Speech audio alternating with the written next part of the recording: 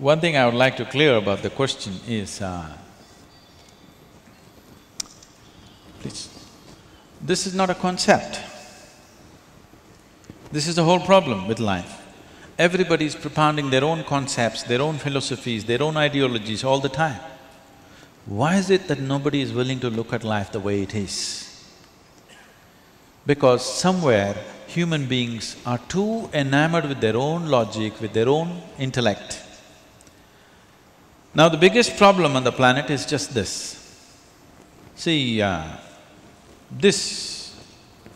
this cosmos, you know, today the Hubble telescope has gone and they're talking about over hundred billion galaxies, not hundred billion stars, hundred billion galaxies, and now we know there are more.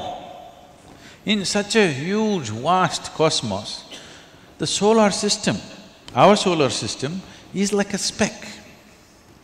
Tomorrow morning if the soul, whole solar system evaporates, nobody's going to miss it. It's not even an account. In this speck, planet Earth is a super speck.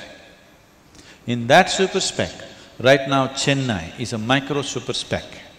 In that, you are a big man. That is the whole problem. You are having concepts about the universe, concepts about creation, because somewhere you think the whole universe spilled out of your brains. No.